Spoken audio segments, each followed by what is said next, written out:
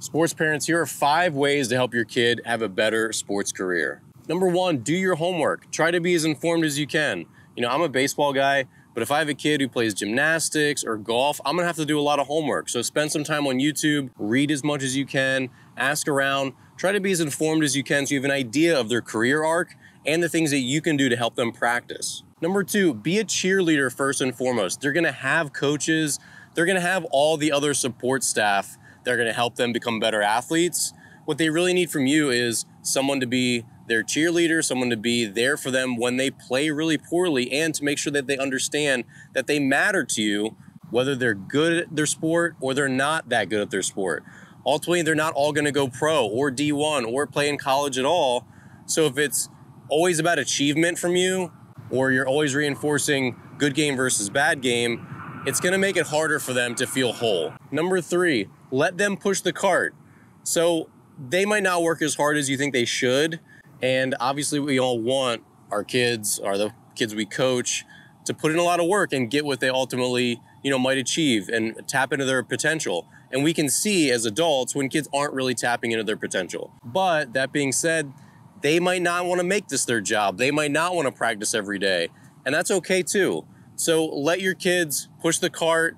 If you want to inspire them, get other people in front of them, get coaches, former players, put them on teams with really motivated teammates, find other ways to inspire them to work harder, but let them push the cart. Number four, put your kid with other like-minded kids and put them in places where they're going to be pushed by their teammates. So this is really important. You learn a ton from your teammates, including how they conduct themselves, how hard they work, their practice habits. Sometimes you just don't know as an athlete what's possible or what's acceptable or what's normal and routine until you see someone else do it. I learned so much from teammates at every higher level that I got to. When I got to college, I was like, oh, wow, this is how college pitchers, how they prepare for a game, how they practice, how they conduct themselves. And I brought myself up to that level.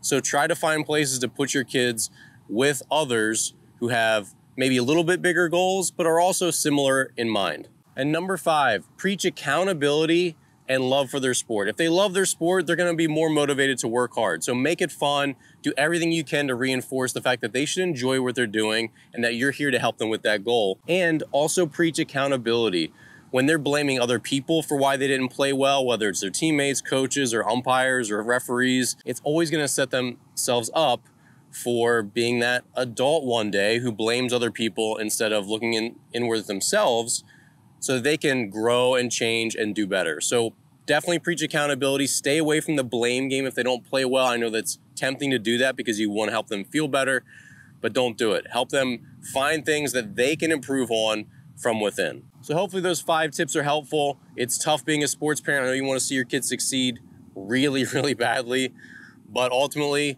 you have to let them go and do their thing and just try to put them in the best position you can to succeed. If you're new here, check out my books, online courses, and follow me here on social media, and I'll see you here in the next video.